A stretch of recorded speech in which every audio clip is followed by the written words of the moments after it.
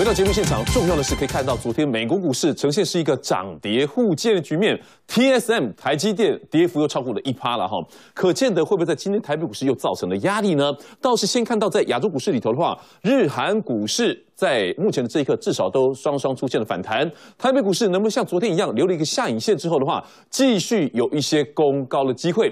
也因为近期压力比较沉重一些些，所以纷纷祭出了库藏股。库藏股的表现能不能脱颖而出？马上为您邀请到是伟杰，伟杰你好，孙哥好，各位观众朋友大家早安。是伟杰，昨天。您没来到现场，结果前一个交易头所看到的收盘，美股形成是一个大跌情况之下，结果昨天在台北股市走势里头，反而是一个开低走高，留的是一个长的下影线的哈，这会是一个重要的转折吗？在您切入谈话之前，我们先来看一下美股的观察，道琼的部分，道琼我们可以看到呢，在昨天。前天双双都算是一个比较长的下影线，可见得昨天的盘中，在您睡觉时间里头，还是有一些杀盘的力道。那么这个力道就能够止跌回稳吗？好，我们来看一下道琼的 K 线图哈。那个，我们看一下这边哈，我们可以把时间缩短一点点。哦，对对对，好，看一下这个带大量的低点是不能跌破，所以短线上就是看这一根的低点，它是一个短线的压力点。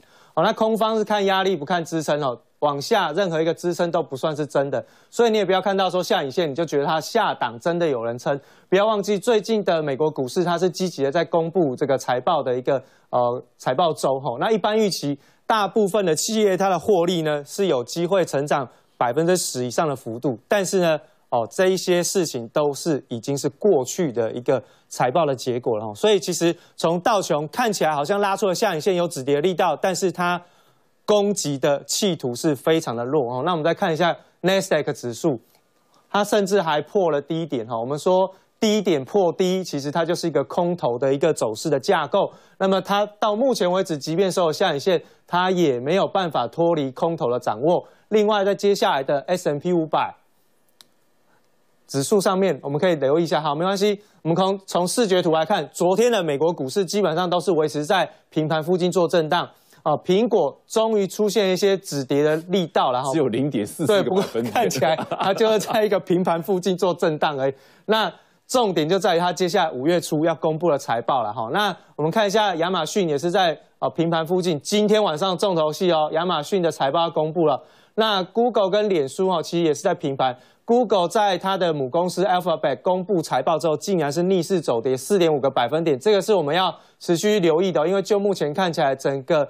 呃，科技类股未来的经营的展望，市场不是哦不是很看好哈。那另外再从一个礼拜的一个表现，我们来看一下，哇，红彤彤一片，这是美股过去一个礼拜的一个表现，全值最大，板块最大哈，越鲜红跌越重，所以你看到你看 F A N G 哈都已经快变成蛀牙了哈，都快掉光了。苹果跌了将近快八个百分点，亚马逊也跌了四个百分点，哦，Google、脸书跟哦，Microsoft、微软其实也都跌了四个百分点以上，所以其实科技类股在过去的表现其实相对非常非常的弱势哦。那么当然，从费城半导体指数呃的一个表现来说哈，其实还是属于偏弱的一个表态。所以刚刚苏元哥提到一个重点，台积电昨天在美股哦出现了跌升反弹，甚至在平盘附近做震荡的时候，哎。竟然默默的又跌了一个百分点以上哈，那今天其实会造成对于台积电甚至对于电子股的一些表现的压力。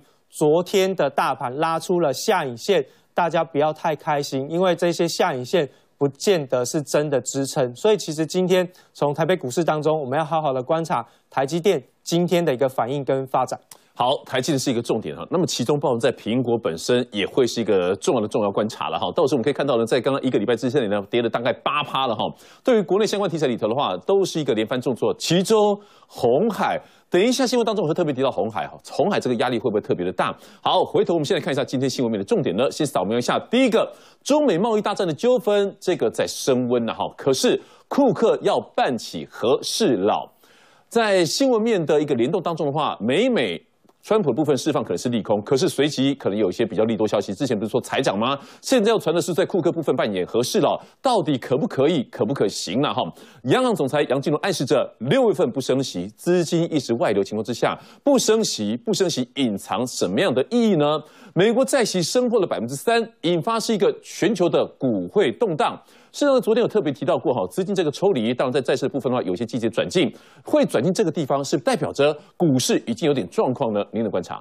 好，我们来看一下在中美贸易纷争的部分哦，这一次真的哈，我们在上个礼拜其实有讲到一个重点哈，就是诶，美国的这个财政部长他说要到中国和谈，那中国的商务部呢也说好，你赶快来。好，那这一件事情看起来在下个礼拜会成真，尤其在下个礼拜的这个下半周，好，有可能这个财政部长，哈，这个梅努钦他会带着白宫的这些相关的经济顾问，哦，这些都是川普的核心幕僚，到中国大陆去进行一个哦贸易战和谈的一个部分。那当然结果如何，哈，我们就要持续的去做留意。那其实，在整个库克扮演和事佬部分，其实他一直都很想要去拉拢。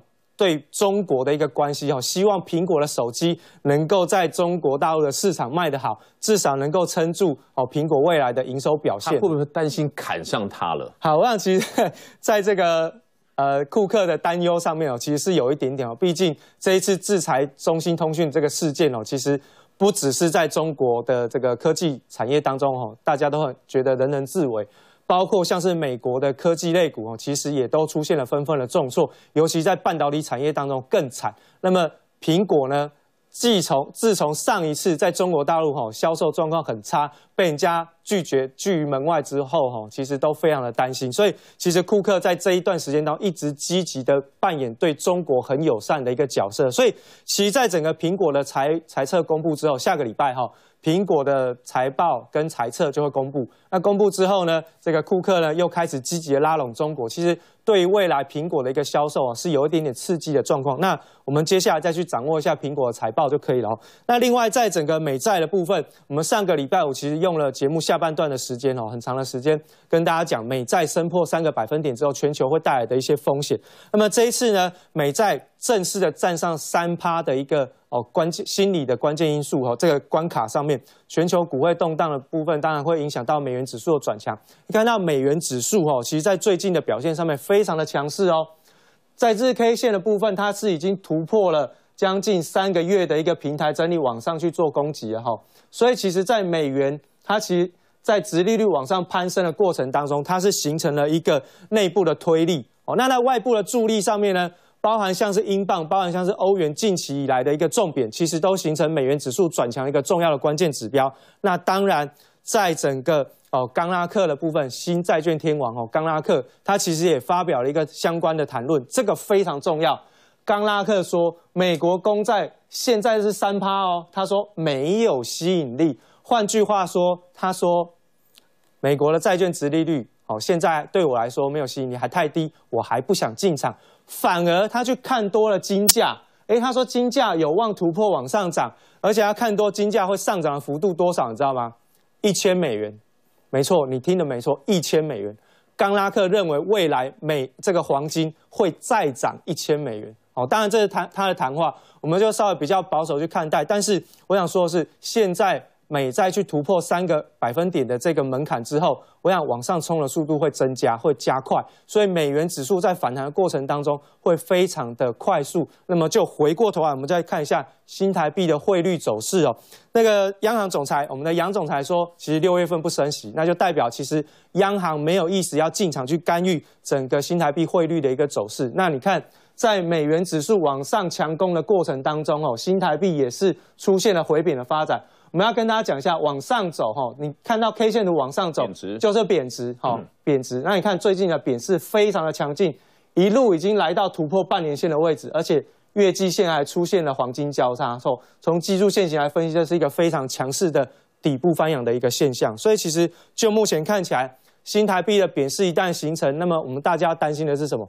资金持续不断的外流。那但是呢？还是要有一个买一个利多的消息跟大家讲。其实新台币的贬值对于企业的接单状况跟它的竞争力是比较有利，但是哦，这个贬值的趋势要能够持续到季底，那么才会有利这些企业做账的时候会比较方便。如果它只是一开始啊，这个第二季一开始。区别，然后后来又开始回升，哎，那这个其实就没有什么太大的利多因素哦。所以其实新台币的汇率，这是我们持续要去做关注，尤其是针对外资资金的流向，新台币的汇率就是一个非常好的指标。好，那么除了资金流的一个动向之外的话，我们来看一下红海部分，二三一七的红海，我们等下把线型打出来看一下，利空一波波，苦守在八十块钱，哎。红海到底怎么回事哦？最近其实之前的话，在我们看到尾节部分有特别提醒给大家，在群创的部分也好，或者在红，我们可以看到的红海董事长郭台铭郭董的话，已经很久没有在这个媒体面前了哈。倒是股价表现真的形成是一个连番重挫，破低又是一个破底情况之下，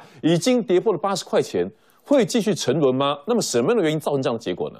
好，我想其实红海最主要它的股价会跌得这么深哦，当然呃跟它的基本面的改变有关系哈。那我想红海的这个三率三降的确给市场上的信心一个很大的打击哦。那么当然对于未来苹果手机的销售数字被调降，也是一个非常重呃重大的一个利空的影响哦。所以其实呃红海的股价就开始连番的出现了重挫，而且在重挫的过程当中，外资一直不断的调节。那么在节目当中呢，我们也曾经提过这一次。花旗环球针对于这个红海的目标价是往下调降到哦比较低的位阶哦，所以其实对于红海来说，它就一直面临到法人的一个卖压哈。